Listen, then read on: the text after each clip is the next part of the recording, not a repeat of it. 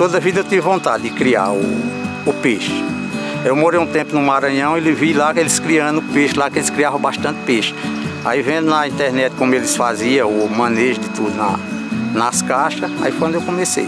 A gente começou com uma caixa de mil litros, só que a gente foi ver, a caixa não dava, porque é muito pequena. A gente começou a fazer esse tanque.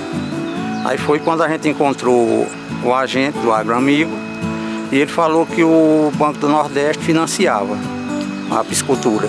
A gente fez o financiamento desses outros três tanques. Aí foi onde melhorou. A gente não ia ter as condições de fazer esses outros tanques se não fosse através do, do agroamigo, porque a, situa a condições financeiras não dava para fazer. A gente cria aqui, por, em média, um tanque desse aqui, a média de 600 tilápia, 800 tilápia em cada tanque. Eu gosto de trabalhar com ele, com o peixe. É bom de trabalhar, bom de criar.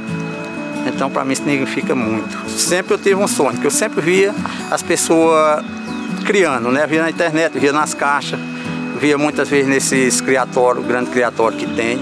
E eu sempre dizia, um dia eu faço, um dia eu vou conseguir. Estou conseguindo, mas vou conseguir mais ainda. Quero ampliar mais ainda, se Deus quiser.